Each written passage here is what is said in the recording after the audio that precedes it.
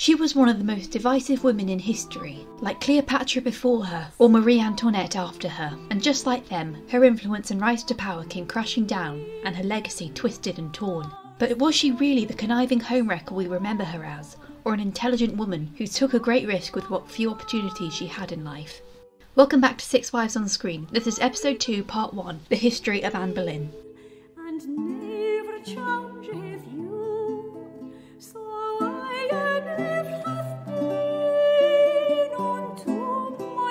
The dates of birth of the other six wives aren't as clear as Catherine of Aragon's. Anne Boleyn's has been debated several times, to which we can't be sure if she was born in 1501 or 1507, which would make her either 24 or 18 when Henry VIII decided to pursue her. What we do know is that Anne was born at Blickling in Norfolk and spent her childhood with her sister Mary and her brother George at Hever Castle in Kent. Other children were born into the Boleyn family, but they did not live long enough to share in the glories and disgraces that the family would experience. The Boleyn family had a rich aristocratic lineage dating back to that of Edward I. Of the four English wives Henry took, Anne's lineage would be the strongest. In 1513, Anne was sent overseas to receive her education from Margaret of Austria, governor to the Habsburg Netherlands, who was likely a great influence to Anne as a woman in power who could govern with authority. Margaret cherished Anne's presence, calling her presentable and pleasant, considering her young age. When Henry VIII's sister, Mary Tudor the Elder, was married to King Louis XII of France, Anne was sent along with her sister to serve her as a maid of honour. When the brief marriage ended with the king's death, Anne stayed in France to serve the new queen, Claude, while her sister and the widowed princess returned to England. Anne flourished at the French court, where she was exposed to literature, music, and religious philosophy which may not have been available or permitted in her home country. It is also likely that this is where Anne gained her ideals for humanism and religious reform, as she is likely to have met King Francis I's sister, Marguerite of Navarre.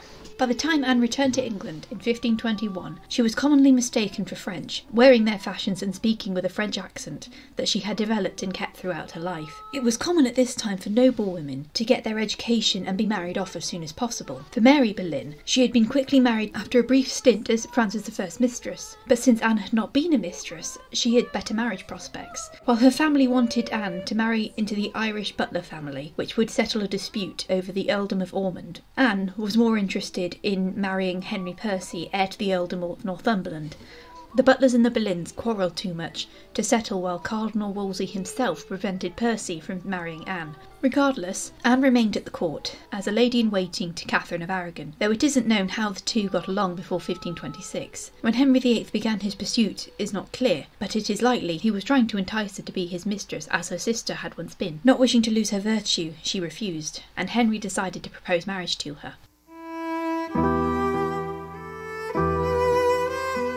So began the king's great matter. While Henry began seeking methods to annul his first marriage, Anne's influence rose at court, though she had to stay as Catherine's lady in waiting. In 1528, she fell ill with a sweating sickness and very nearly died. Somehow she managed to pull through when this illness would commonly kill people within hours. Henry was unable to attain an annulment from Rome, which removed Cardinal Wolsey from power. Anne, sympathetic to the idea of reform and had read smuggled Protestant books, was influential in convincing Henry to break from Rome and form the Church of England, making himself the head. Catherine of Aragon's influence diminished until she was banished from court. While Anne quickly became as powerful as a queen without the title, the common people hated her. She narrowly escaped a violent attack in 1531, as the place she was staying at was by the river and the king's bodyguards rowed her to safety. Henry made Anne Marquess of Pembroke in 1532, holding a title in her own right, in order to strengthen her legitimacy to the title of Queen. After a brief conference in Calais, where King Francis I gave his support for their marriage, Anne and Henry secretly married in November. In January, Anne found she was pregnant, and the second ceremony was held. The death of the Archbishop of Canterbury, William Warham, led to Thomas Cranmer taking his place. Cranmer, an ally of Henry and Anne, declared the annulment of Henry's marriage to Catherine and legitimised Anne as Henry's wife and consort. Anne received a coronation at Westminster Abbey with all the splendour of a monarch ascending to the throne in their own right. By then, her pregnancy would have been on full show, where all the world could see that she was carrying the future heir to the throne. And on September 7th, 1533, Anne gave birth to a daughter instead of a son. She was healthy and survived infancy, but she was not a son. They named their daughter Elizabeth after their mothers, and gave her a splendid household at Hatfield House, where Catherine of Aragon's own daughter Mary was made to serve in the royal nursery. Anne would fall pregnant three more times, but each of them ended tragically. Bit by bit, Henry's affections for Anne waned. His desperation to be acknowledged as supreme authority in England began his transformation into the bloodthirsty tyrant we know him as today, who would make several martyrs, Protestant and Catholic including his own friends like Sir Thomas More and Cardinal John Fisher. Some accuse Anne of influencing these executions, but she wasn't the one who signed the death warrants, and Henry would soon show that he could manipulate the law as he wanted.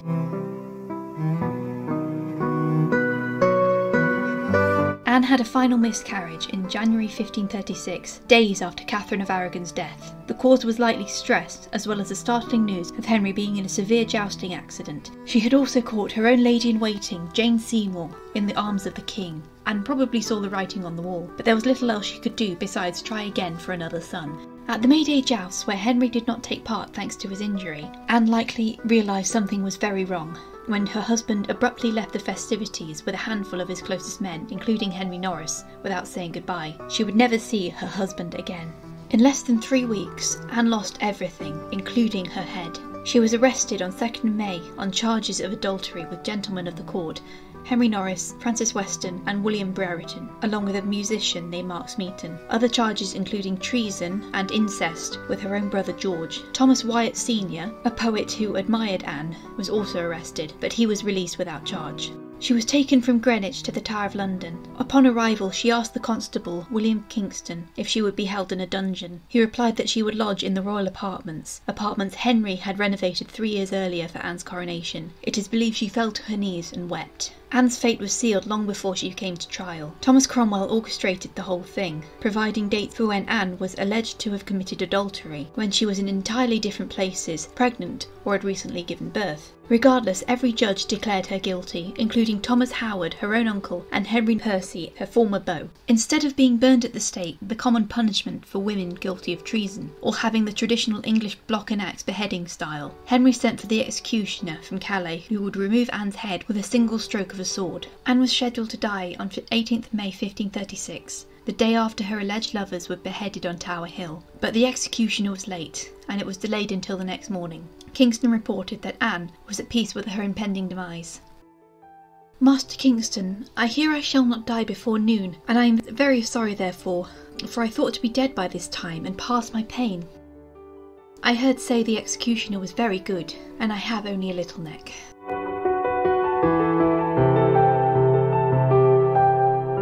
Received her final confession from Thomas Cranmer, where she swore that she was innocent. Where he had once been her ally, he was now ordered to annul Anne and Henry's marriage on the grounds of Anne's sister Mary having been Henry's mistress, thus violating the same Bible verse Henry used to put Catherine of Aragon aside. Princess Elizabeth fell from the heir to the throne to another bastard daughter of the king, and did not sleep on the final night of her life. Instead, she spent her final hours in prayer and, as is believed, composed the poem O Death, Rock Me Asleep.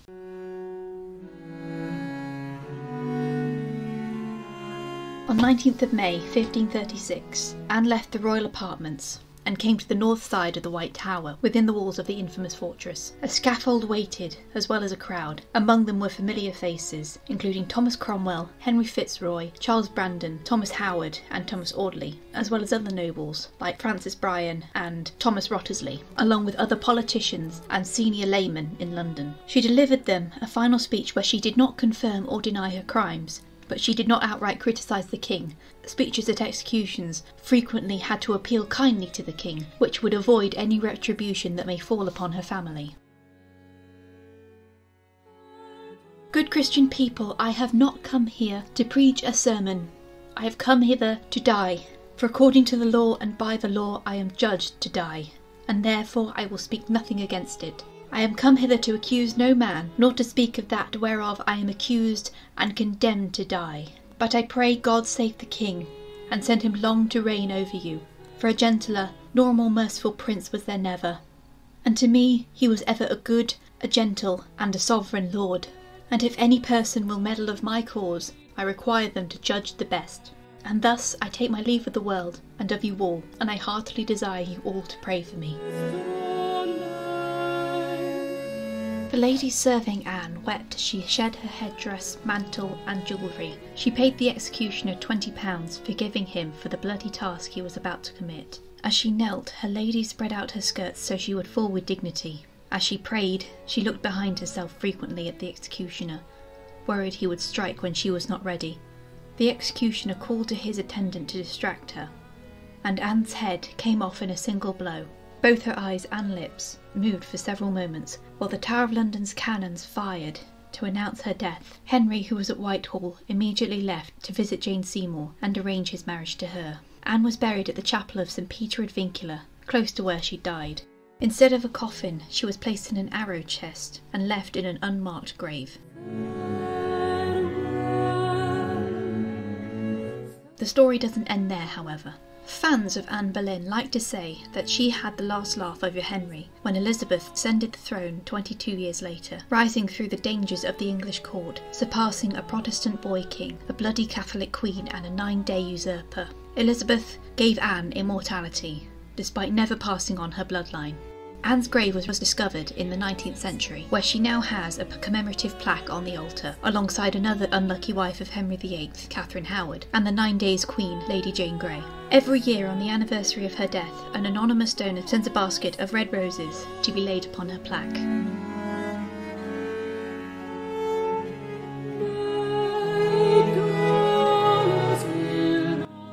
So guys, thank you for coming to the end of this video. I hope to get it out sooner, but I forgot how slow my editing software was. I'm going to try and look for another one for my next episode. As you may have noticed, this is part one of my coverage of Anne Boleyn. I've decided to cut the entire Anne Boleyn project into five parts instead of spending months trying to compile the history, the rankings, and the themes and everything else into one video like I did with Catherine of Aragon because that took a long time.